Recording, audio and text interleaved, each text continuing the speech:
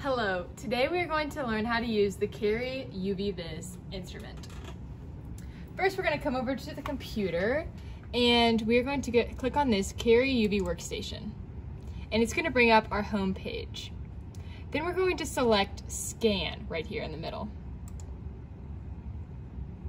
Perfect. So now this is up and now we need to go over here to this toggle, which is called um, method setup.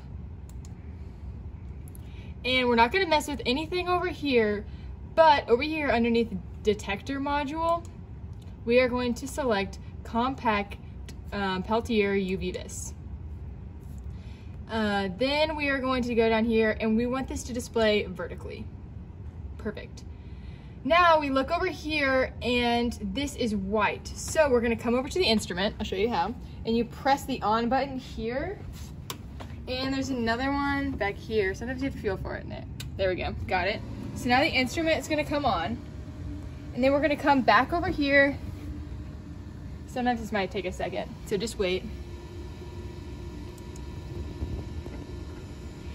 Okay, so now this, our instrument, the Cary UV Vis has popped up. So we're gonna click on this, click connect.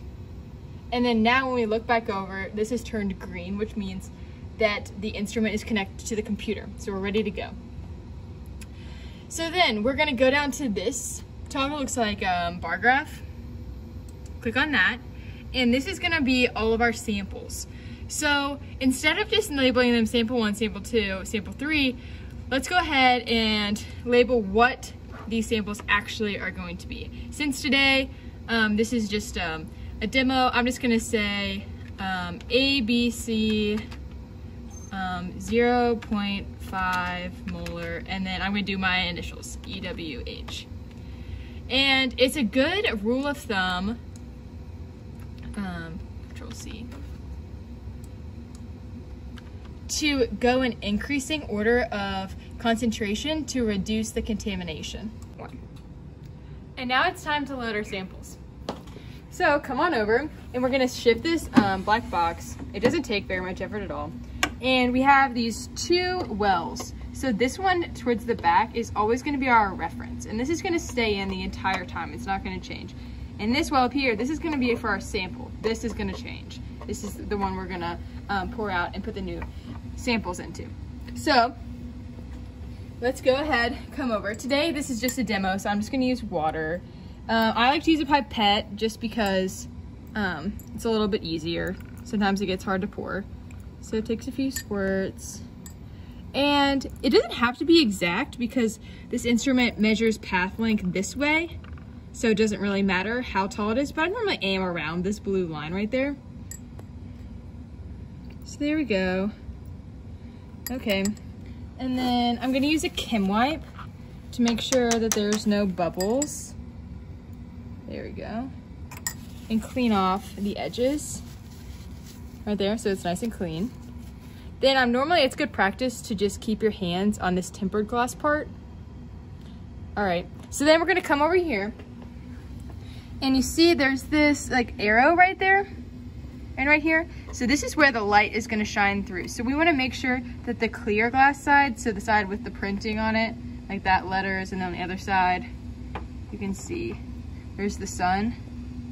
So we wanna make sure that that side is pointed with the arrows, like this. Here we go. So this is our reference. So now we're gonna load our sample. Today, we're just doing water, but I'm gonna show you um, a graph of something I did, worked on yesterday. It's a better example, right? So normally this would not be the same as the reference. This would be a specific solution. Okay, same thing again, don't touch the tempered glass, bubbles, make sure it's nice and clean. Okay, there we go. Then again, we're going to use the clear glass side with the arrows. Then this is an important step. We're going to close the top before we're going to take our, our readings. So now we're ready. We're going to come over here and we're going to press this play button. And it prompts us to save. So a good rule of thumb is to include your initials and the date. So I'm just to say demo EWH, and then 7, 14, 21. Save. Next, this is gonna be a loading guide. It's gonna pop up automatically. I didn't press anything. And this is just gonna confirm that this is what I have in the loading zone. So this is correct. I have the reference farther back, and then this is my supposed analyte, but it's just water today. Push OK, and that's gonna start the instrument. You can hear, it's like a pretty high pitched sound, so you can tell that it's working. And then as it reads, there, um, you can see it working over here. Okay, this is some data that I collected earlier this week. Um, you can see over here the different samples are color coded and they're an increasing concentration. And one of my favorite aspects about this program is right here under peak preferences, you can select peaks and it will go ahead and label all of these peaks. Um, so right here, I say that I wanted to get a better look at what was going on. I can click, I'm gonna click down and then drag a box. And that's how you can zoom in. So I can see um, all of the different lines. Go. Okay, so now we have our data, and these are gonna be the points that I'm gonna use in my Beer's Law plot. Um, I don't wanna copy down all of this data. So we're gonna learn how to export it. So I'm gonna go over here to three lines, I'm gonna go back to home, and then right here, I'm gonna find what I was on. So I was on this, um, I was on this one. And then I'm gonna click these three little dots in the corner and it's gonna come down and it's gonna say export. Then I'm gonna choose CSV file. It normally comes up um, as this Cary UV workstation, but we want CSV. And then we're gonna push export. Then it's gonna come down here and say successfully, uh, successfully exported one file and you can click show and it'll show you where it is on the computer, which is right here. And then I would use a USB file to export that onto my computer.